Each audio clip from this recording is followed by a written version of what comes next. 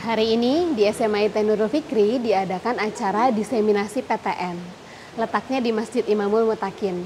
Diseminasi PTN ini kita menghadirkan narasumber yaitu Bapak Insinyur Agung Rusadi MSc. Beliau adalah founder dari Ruang Temu. Acara ini dihadiri juga oleh semua orang tua murid di kelas 12. Acara ini kami adakan dengan metode hybrid. Jadi, ada orang tua murid yang tidak bisa hadir, masih bisa melihat siaran kami secara langsung melalui Zoom. Kenapa acara ini diadakan?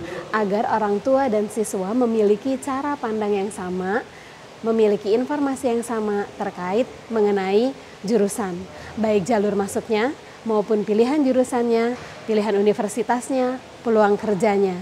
Dan acara ini juga dimaksudkan agar siswa-siswi SMA IT Nurul Fikri di kelas 12 lebih memahami mengenai hasil uh, jurusan yang mereka pilih berdasarkan minat, bakat, kompetensinya.